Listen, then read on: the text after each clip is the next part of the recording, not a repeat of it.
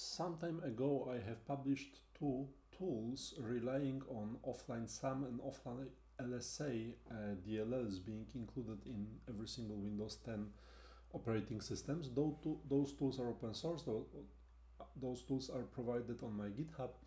Uh, you can play with them. They are adding uh, some uh, attributes or just adding new accounts to the SAM database of uh, system being turned off. Right now I have created a new tool, the um, offline uh, SAM tool. This tool is a fully blown editor with some graphical interface uh, allowing you to um, edit uh, the sum database, every single aspect of the sum database. So you can see uh, groups uh, in your sum database on the machine which is turned off. You can see uh, accounts being present here. You can create a new account, let's uh, call it my admin. Uh, if you set this user, uh, you have all parameters which are present in the SAM database exposed here. So you can say uh, which privileges uh, belong to this uh, account. Uh, the account is by default disabled, so you can enable it, uh, leaving normal account. You can set the password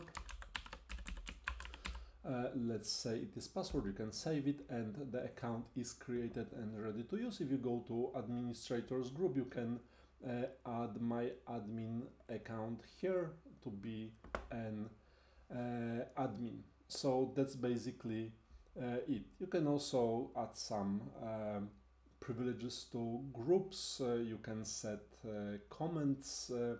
yes, save.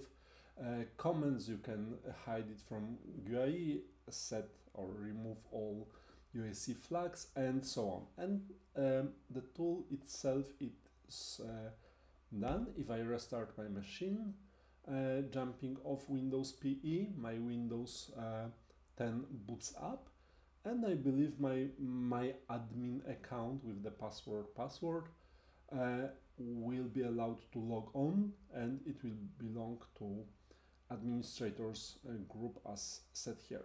So uh, the tool itself is slightly better than the um, tools I uh, published previously because um, for this particular tool uh, you have a chance to set every single bit being exposed by the SAM uh, database. Um, I will log on here as uh, my admin uh, with the password password freshly set. And uh, as you can see uh, the logon is successful.